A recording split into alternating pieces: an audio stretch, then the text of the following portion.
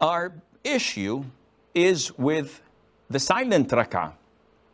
If I join the imam in this rak'ah from the beginning, and he made ruku' before I finished my rak'ah, this means there is one of two. Either he is too fast or I'm too slow. If he's too fast, this means that the whole congregation will complain and say, Akhi, I could not read my Fatiha. The Imam was too fast.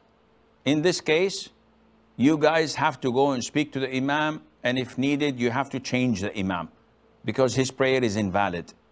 He cannot recite it this quick while, the whole of, of the congregation are suffering. But this can't affect your prayer. Meaning, if he goes to ruku', you recite your Fatiha as quick as possible. Even if he raises his head from ruku', you go and make ruku' afterwards and catch up with him because there's no fault on you. But if you were too slow, then then we have a problem. And if you're too slow, this rak'ah, which the imam made ruku' and raised his head from ruku' before you catch up with him, is invalid. And this is your problem. You have to work on reciting it quickly.